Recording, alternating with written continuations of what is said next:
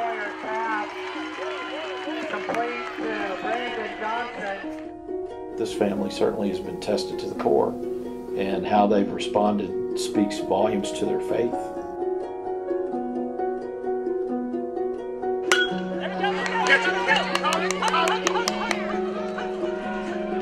My name's Foster Sawyer. There's my brother Tate and Preston. Uh, first of all, who knows what this tournament is called? Does anybody know the name of it? What's the name of this tournament? That's Tara Sawyer, exactly. Uh, well, Tara's our sister. Uh, I'm Foster, like I said. Uh, Tara's our sister. She passed away when she was 10 years old. She was just like y'all. She played second base, uh, baseball player with the guys. She was dang good at it too, a good pitcher. Most importantly, though, she was a, an amazing person.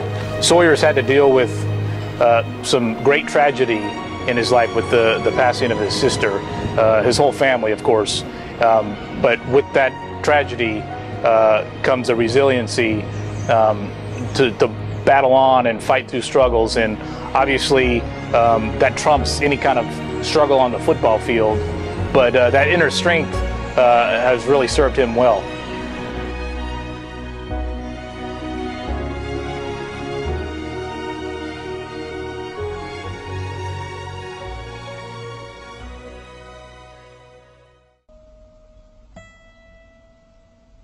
We have five children. We had our first four in five and a half years to the day. I know growing up with four people, four siblings all the same age, is very competitive. Everything turned into a game or a contest. Um, there's no, oh, we can just do this for fun. It was always who's going to be the best at it. Foster was pure passion. uh, I, whatever it was, whether he was mad, happy, whatever. I mean, he, he, he was a very passionate uh, child, in my opinion. Just all, all being the same age, we just did everything together. So we were all out there playing, like pick up hockey. And uh, I came around the corner, and my skates on, and there was Foster out there in the driveway by himself at 18 months, rollerblading, inline rollerblading. I mean, it was unbelievable. Like, that's when I knew I was like, man, this kid, there's something to it, and that, that coordination to be able to sit there and just maneuver like that. And I can figure it out. I was, what, six years older when I was out there struggling. Foster never was able to really get dominated. That's why, like, I mean, especially just being two years older than him, he's always been just a little bit smaller than me, but always a little bit stronger and always a little bit faster. Just because, I mean, he's obviously pretty gifted athletically. My oldest son, Preston, was five, and uh, he started wanting to play baseball, so that's kind of so that's what we did. He got older, she, I guess, the next year or so, she started wanting to play, and we just, not even asked, we just enrolled her and started playing. And she started playing with the boys from the very beginning. Both Tate and Tara, um, we were the Predators, and they kid quit the day of the game, and my parents called me. My dad said, Foster, let's go. And so um, I just kind of went with it. I didn't know what was going on, so I played outfield, and I just remember backing up first base. I sprinted every chance I got, and uh, so from there on, I just kept the ball rolling. I always played up, and um, so that's just kind of how it started. Competition-wise, I always held myself to a higher standard. I didn't know much about football. I liked watching it. Uh, I was fourth grade, uh, 10 years old. Uh, my best friend Patrick Brophy asked me to come play for a team called the Cougars in Optimist Football in Arlington.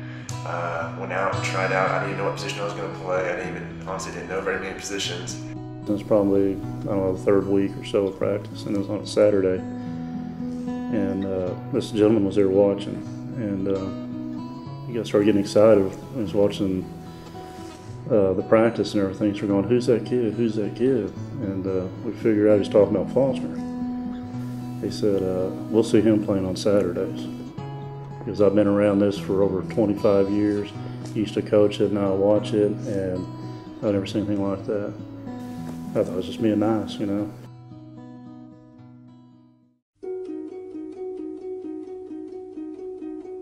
You know, like I said, Tara played a lot of baseball and everything. We just finished up a World Series, and uh, I think there was something like 87 teams there. And uh, we were, Tara was on the team, and she was the only girl there. We came in fifth. Uh, she was that competitive, uh, you know, to play at that level. And uh, so after that tournament, we, you know, our summer had baseball completed. Tara was the one, in fact, that said, Get me to the lake. I- I'm ready to go. I'm done with baseball. I'm ready to go to the lake. And that was, um, besides being home with her brothers, that was her most favorite place in the world to be, was at the lake. We had had a magical week of snow cones and game playing and uh, really, really fun stuff. And um, then she just had a headache one morning.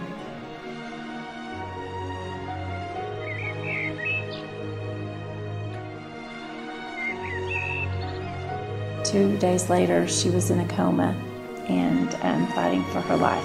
In the course of that week, she contracted a water amoeba called Naegleria. It's pretty fatal. It is fatal. And um, if you don't catch it in time, uh, it'll, it'll take your life. And that's what it did with Tara.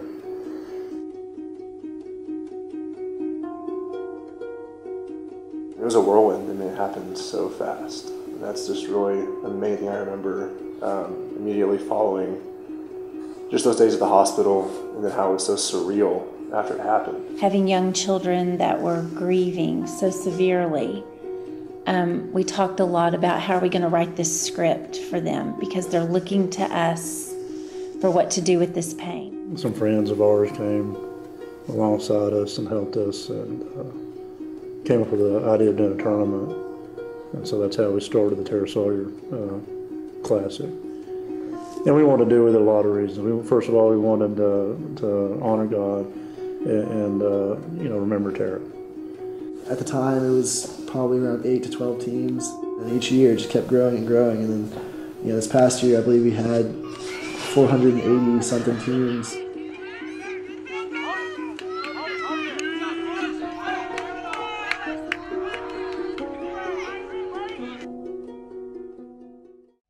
Tara played baseball, um, she wore 21 on her back, and for me to honor her, I wear 12, which is 21 backwards, and it's just to show my memory and uh, to keep my motivation. Well, One thing that made TCU so good uh, in 2008, 2009, 2010 was quarterback Andy Dalton's leadership abilities. He was a, another coach on the field for the team, and the, the, the coaches, by his junior and senior year, uh, had complete trust in him, and, and he acted as a coach on the field, and his teammates uh, looked up to him. A quarterback needs to be that kind of leader, and, and from what I've heard, Foster Sawyer is that kind of guy.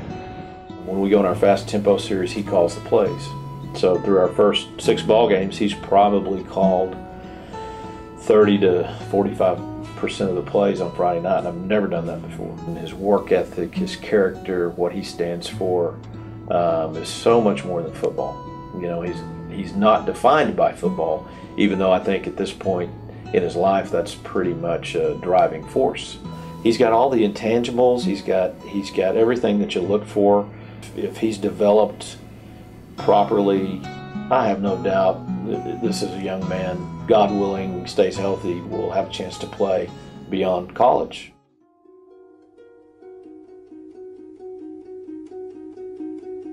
I remember going and seeing her last, uh, last time I ever saw her, saying goodbye, kiss her on the cheek.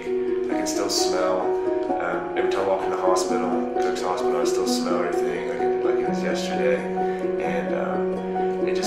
ache every time I sense that. And, um, and I, I still remember just clips of just uh, walking out, um, sitting in the hallway, just, just knowing that I'd never see her again. And um, though it's tough, I just, just um, something that will always stick with me and make me stronger. I know because um, true character is expressed with anyone can get through anything when it's easy. It's uh, it's harder when it's tough. So uh, I know God's put me in a situation to make me a stronger person. That relationship was very, very special to him. And um, She she, took care of mothered him, him, she yeah. took care of him, And she knew how to deal with him. and his she kept him in line.